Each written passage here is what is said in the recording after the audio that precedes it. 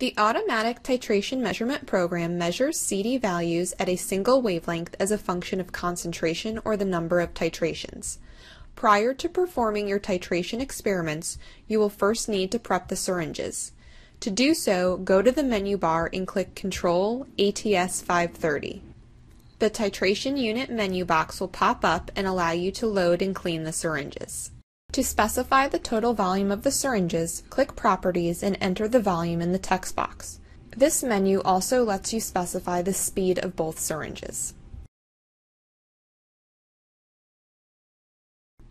We can start by cleaning the syringes, however you should make sure to perform this function after an experiment to remove any residual solution from the syringes and tubing. First, choose a solution that you would like to flush through the syringe and tubing and make sure none of the tubing is directed into the cell. Select the syringe you would like to flush first and then click Flush. Specify the flow path by selecting which valve loads the flushing solution and which valve will drain the flushing solution. In this example, valve A is used to load the solution so the tubing from valve A, syringe 1, should be placed into your solution beaker. Place the tubing to valve B, syringe 1, into a waste beaker. Clicking Exchange will switch the valve positions so that valve B is the flush path and valve A is the drain path. Enter the number of desired flushes and click Flush. After the solution in the syringe is drained, the syringe is repeatedly flushed the selected number of times and the piston stops at the top of the syringe in the drained position. Repeat the flushing process on syringe 2 by going back to the main titration unit menu, selecting syringe 2, and then selecting flush.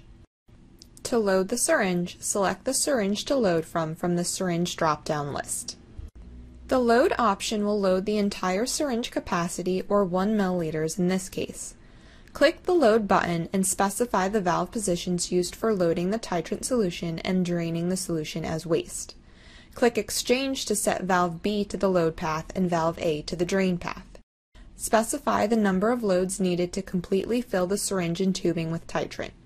If the tubing connected to the sample cell is relatively long, select a larger value for the number of inflows. Insert the tubing connected to valve A into the titrant beaker and the tubing associated with valve B into the waste container. Once you click load, if the syringe is empty, 1 milliliters will be loaded into the syringe, drained, and then reloaded. If the syringe has any solution in it, the unit will load the entire syringe capacity, drain the solution, and then reload 1 milliliter of solution.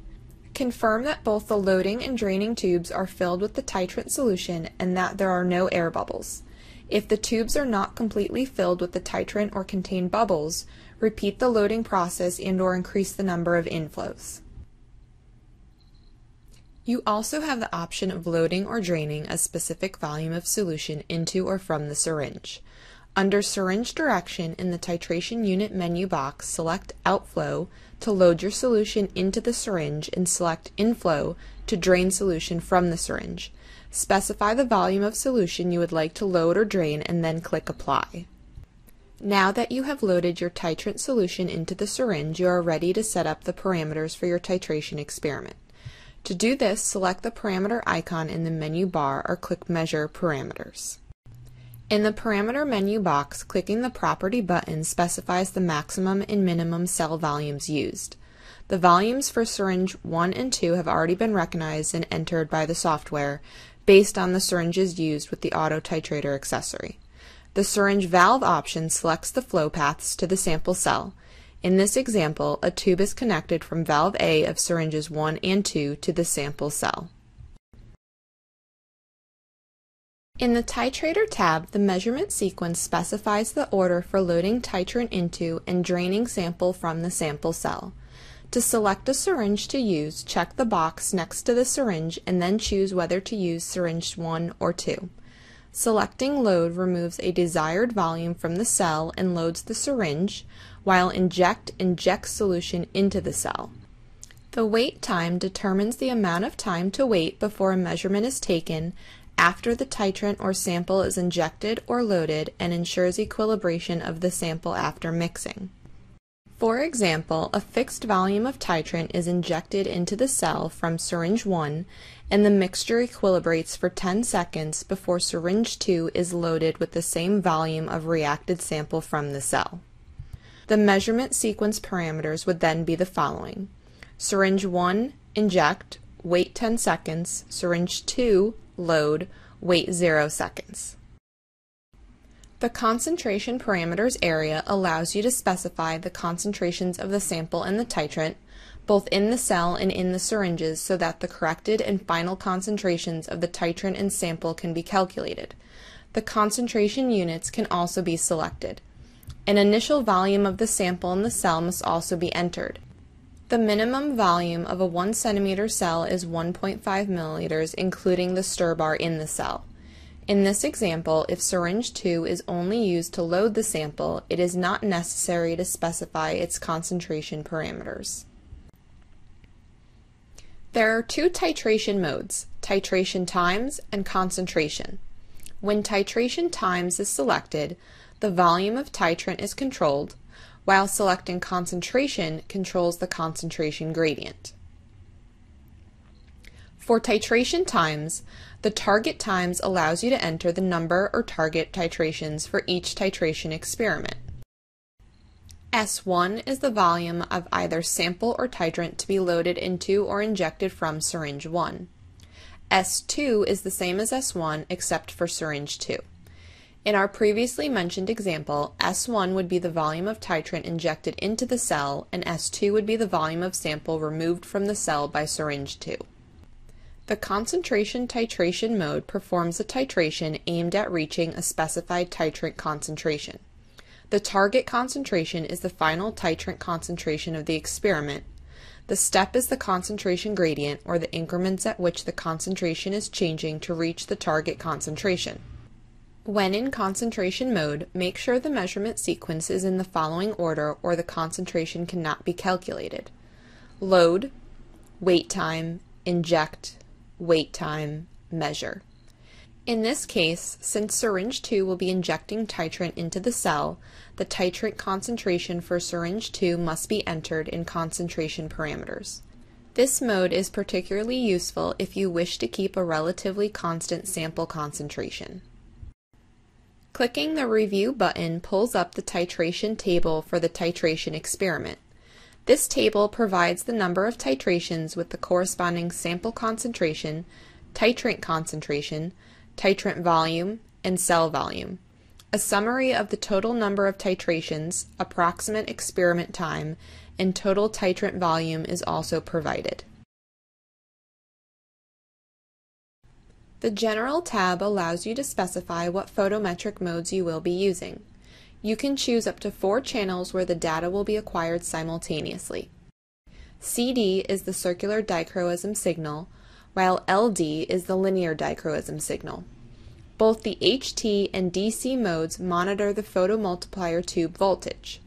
HT is the high tension voltage and controls the gain, which is the amount of current output for the number of photons reaching the detector.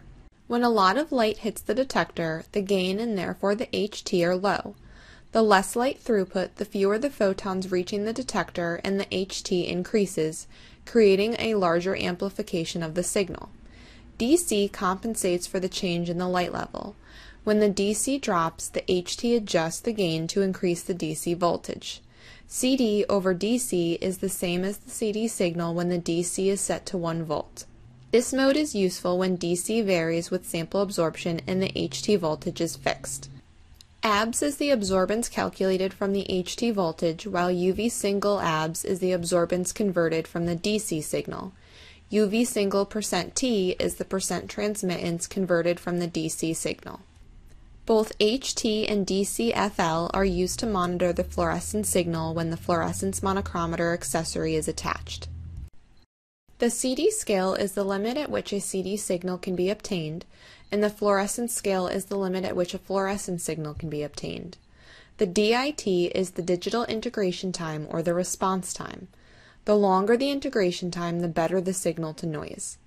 A good starting point for selecting the DIT is one second. The bandwidth determines how much light reaches the sample. The smaller the bandwidth, the less light throughput and the lower the signal to noise, but you can achieve better peak resolution. However, since CD peaks are broad, 1 to 2 nanometer bandwidth is fine. In the wavelength text box, specify the wavelength you wish to monitor the CD signal at.